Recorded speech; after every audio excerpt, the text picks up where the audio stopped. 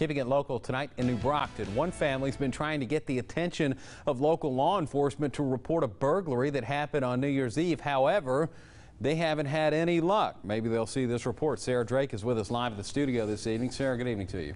Good evening, Ben. Well, this afternoon I spoke with Kyron Cochran, who says that this is actually not the first time his 73-year-old mother's house has been a target of burglary. This is actually the third time, and every time they contact the police department, the officers don't file an incident report.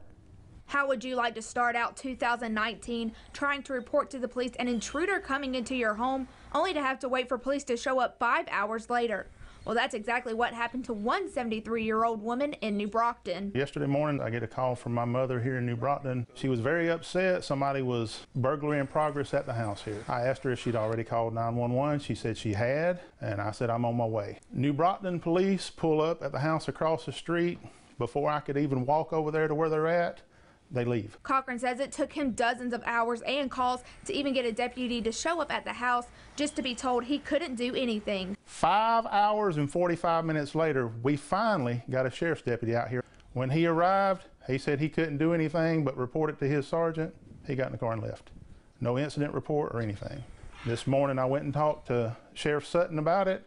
He said he would get to the bottom of all of it and apologize, but this needs to be corrected and not swept under the rug. After speaking with Mr. Cochran, WDHN called Sheriff Sutton, who said, "Now we don't we don't tell New Brockton or any of the other little cities how to manage their business. We we do back them up in the cases of emergencies. I'm not shedding anything off, but I don't want to cause any other problems for anybody." Cochran also says that it seems like no one wants to help. I've contacted the city councilman for her district. He seems like he doesn't want to do anything. I've sent emails. I've called everybody. It seems like nobody really wants to step up. Went to the mayor's office this morning. She's not even there. Well, she might be in at noon, but but it's best to call. I mean, you ought to be able to get a hold of somebody in a situation like this.